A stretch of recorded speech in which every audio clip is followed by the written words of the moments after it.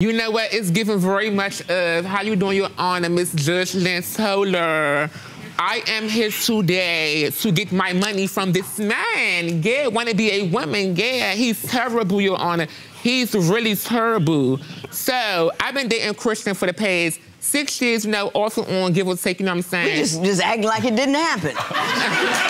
Everybody just, right. it's just like, oh, all that went on, and this, but go ahead. That's what it was given. So we've been talking for the past six or seven years, give or take. Mm-hmm. Your Honor, when I first turned 18, I moved, I remember the house because I was an independent person. I wanted to show my mother that I can do what I want to do. Is give right. all that all back. So I got my own apartment. Me dating Christian at the age of 17, going on 18. I was like, hey, babe, I got a new apartment. Oh, it's given. What's up? You want to move in? You know what I'm saying? Peaches and creams and apple sauce. Yeah, all that.